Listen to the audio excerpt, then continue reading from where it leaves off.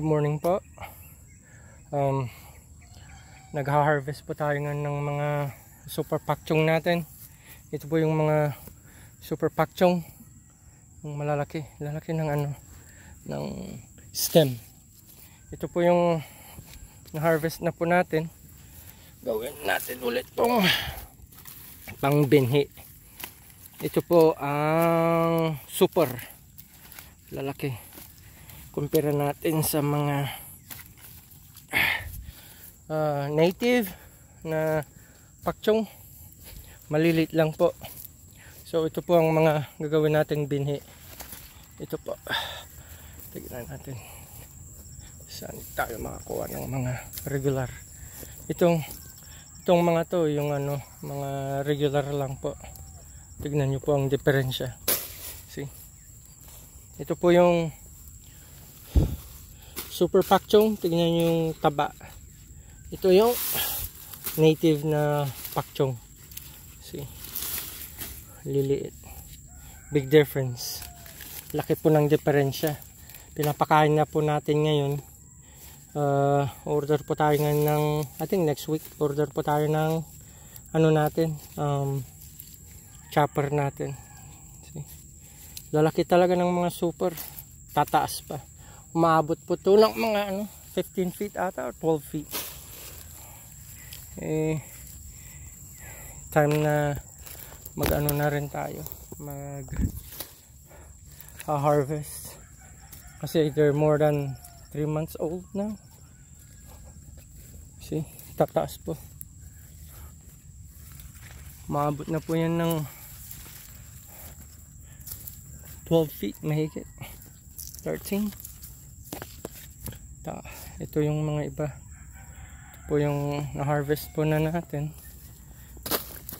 Gagawin po nating pangtanim. Taniman po natin um, all over the place para hindi waste yung space. Dito sa side dito lalagyan din natin. May mga natanim na natin. Mayroon din tayong purple. Ito yung gagamitin natin. Pang binhi natin dagdagan natin mula dyan. Hanggang doon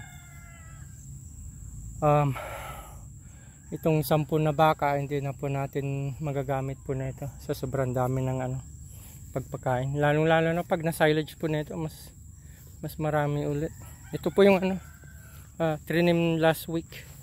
About 5 days ago uh, sumusibol ulit po sa baba. So sa baba po namin pinutol ng pamangkin ko para mas marami. Mas matataba yung um, regrowth niya.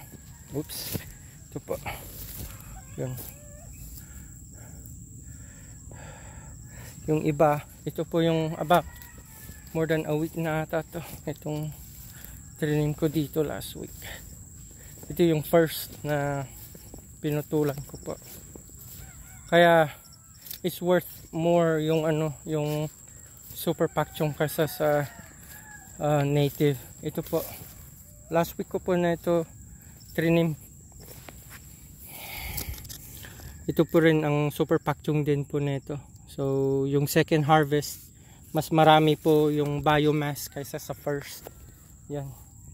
Yung itong tatlong to super pakchong po to. Yung may ito lahat dito super pack yung itong lote na to hindi ko mamayang hapon ko na po na ito ha-harvestin ulit para sa hapon.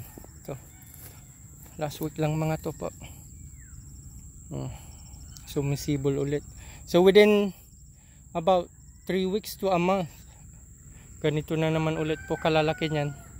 So basically is on rotation na po ang pagpakain ng um, super pakchong so non-stop na po na ito. Everyday ganito na po ang pagpakain namin. Tsaka in between tinataniman ko po. Tinatan tinataniman namin po ng uh, yung mga may namatayan. Gaya po dito. Itong dalawan to yun. Tsaka yun. And wherever the rest para hindi sayang yung space. Um, anyway po ganun po um, ganun na lang po. Nag-harvest po na po natin ngayon. Kahit konting video lang. Ito po kasi yung mga ano nun eh yung mga native native na pakchong. Kaya ang liliit po. See ang, ang ninipis ng ano gaya ng mga super. Yung super talaga kung speaking of biomass talagang mas marami mas malaki talagang nabibigay ng mga super. Tataba. Ng lalo na pag um, machap-chap. Ang bigat. Kaya ito po ang gagawin gamitin kong ano pangbinhi so ito naman yung mga sugar grace tatanim din ako ulit spread ko ulit dito. So anyway ganun na lang po. Maraming salamat po. Ito po ang update na ng mga super pakchong po natin.